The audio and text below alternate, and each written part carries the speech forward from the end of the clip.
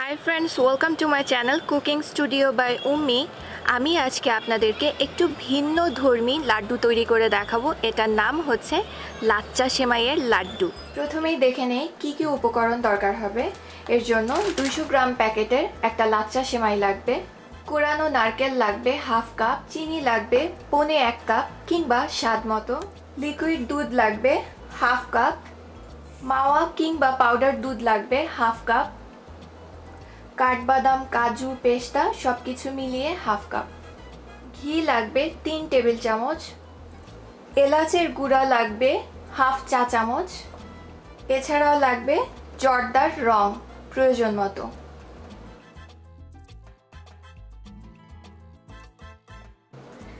প্রথমেই যা করতে হবে তা হচ্ছে বাদামগুলোকে কুসুম গরম পানি দিয়ে প্রায় সাত আট মিনিট ভিজিয়ে রাখতে হবে। এতে করে বাদামের খোসাগুলো ছাড়িয়ে নেওয়া সহজ হবে।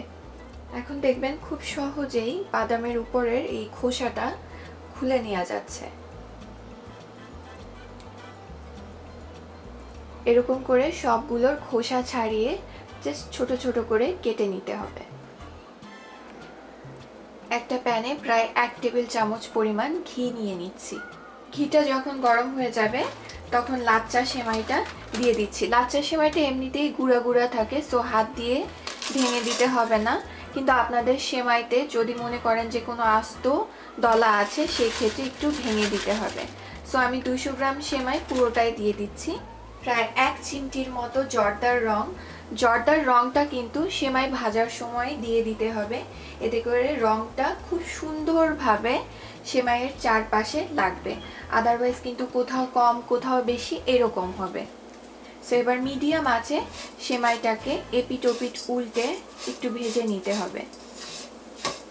অনবরত নাড়তে হবে ভাজার সময়, না হয় কিন্তু নিচে পোড়া ধরবে।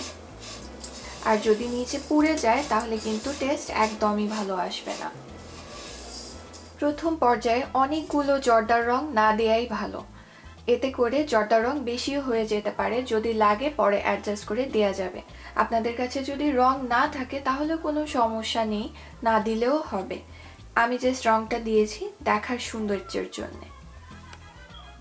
প্রায় সাত আট মিনিট ধরে লাচ্চা সেমাইটাকে ভেজেছি। খুবই সুন্দর একটা সুঘ্রাণ বের হয়েছে। এবার আমি চুলাটা বন্ধ করে তারপরে সেমাইটাকে ঠান্ডা করে নিব।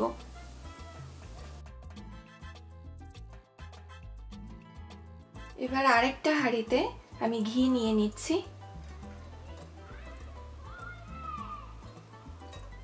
ঘিটা সামান্য গরম হলে এর মধ্যে আমি নারকেল কোড়ানো দিয়ে দিব। নারকেল কোড়াটা দিয়ে অনবরত নাড়তে হবে। না হলে কিন্তু নারকেল পোড়াটা পুড়ে যাবে। নারকেল কোড়ার যে সাদা রংটা, সেই সাদা ভাবটা চলে গিয়ে খুবই হালকা একটা ব্রাউন কালার চলে এসেছে। আবার খুব বেশি ভাজতে যাবেন না, তাহলে কিন্তু নারকেল কোড়াটা একেবারে শক্ত হয়ে যাবে। সো যখন হালকা একটু ব্রাউন হবে চার পাঁচ মিনিট পরে, তখন এর মধ্যে দিয়ে দিতে হবে স্বাদ মতো চিনি। এবং সেই সাথে দিয়ে দিতে হবে দুধ।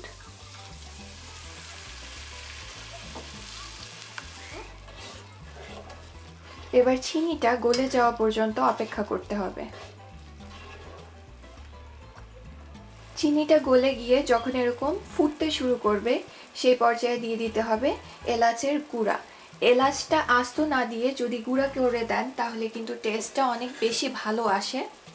এছাড়া এখন দিয়ে দিব আমি সে আগে থেকে ভেজে রাখা সেমাই।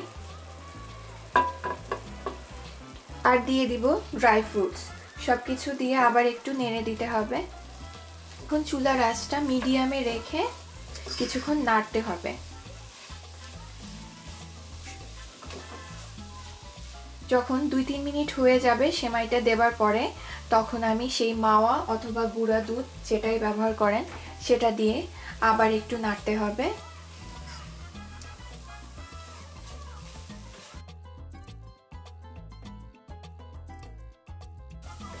সেমাইয়ের লাড্ডুটা কিন্তু ভীষণ টেস্টি একটা খাবার। আপনি না বানালে বুঝবেন না, আর যেহেতু খুবই কম ইনগ্রিডিয়েন্টস লাগে সো এটা কিন্তু খুব সহজেই বানিয়ে নেওয়া যায়। প্লাস আপনি বানিয়ে ফ্রিজেও প্রায় এক সপ্তাহের মতো রাখতে পারবেন, একদম ভালো থাকবে। যখন মাওয়াটা ভালোভাবে মিশে যাবে, তখন আমি চুলাটা বন্ধ করে দিব। লাড্ডুটা হয়ে গেছে পাতিল থেকে, ছেড়ে আসছে। আর দেখেন কেমন দলা দলা পেকে যাচ্ছে। এবার আমি চুলা বন্ধ করে যে সামান্য একটু ঠান্ডা করে হাতে সামান্য ঘি মাখিয়ে নিচ্ছি।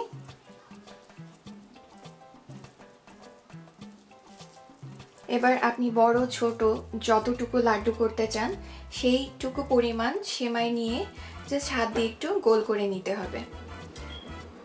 হালকা গরম থাকতেই কিন্তু আপনার লাড্ডুগুলো তৈরি করে ফেলতে হবে। আমি জাস্ট প্রথমবার হাতে একটু ঘি মেখে নিয়েছিলাম। এরপরে আর ঘিয়ের দরকার হয়নি, লাড্ডু থেকেই ঘি বের হয়েছে। মোট চোদ্দোটার মতো লাড্ডু হয়েছে। সো এখন এখানে তেরোটা আছে, একটা অলরেডি আমি খেয়ে ফেলেছি। দেখতে যেন সুন্দর লাগে, তাই আমি লাড্ডুগুলোর উপরে তবক লাগিয়ে দিয়েছি। এটা অপশনাল আপনাদের বাসায় যদি না থাকে তাহলে কোনো সমস্যা নেই। এটা বানাতে যেরকম সহজ, দেখতে যেরকম সুন্দর, আর খেতে সেরকমই টেস্টি ঘরে এটা অবশ্যই ট্রাই করবেন, আমার জন্য দোয়া করবেন, আমার চ্যানেল সাবস্ক্রাইব করবেন। এছাড়া যারা আমার চ্যানেলের ভিডিও নিজের চ্যানেলে চুরি করে আপলোড করছে, প্লিজ তাদের চ্যানেলে রিপোর্ট করুন। আজকে তাহলে এখানেই বিদায় নিচ্ছি। ভালো থাকবেন। আল্লাহ হাফেজ।